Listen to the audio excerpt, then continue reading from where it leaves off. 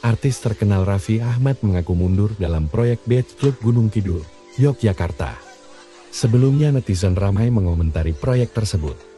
Proyek itu dinilai merugikan warga Gunung Kidul. Selain itu, kawasan tersebut telah dilindungi oleh geologi sehingga diakui UNESCO dan tidak boleh dibangun apa-apa.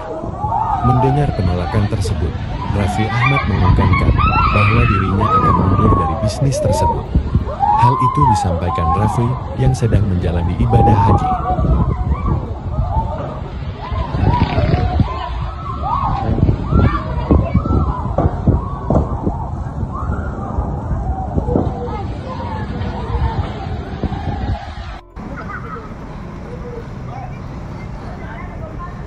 Ya Allah, ya Allah, wa rajiun.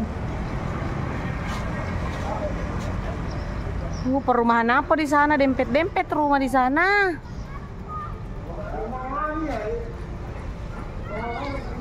Royal di situ.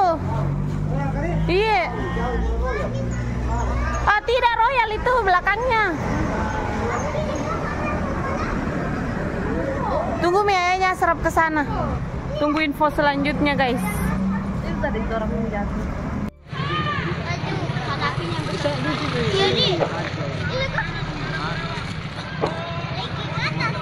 Kasih pindah, kasih pindah baru, baru tak? Ini mau masuk ini.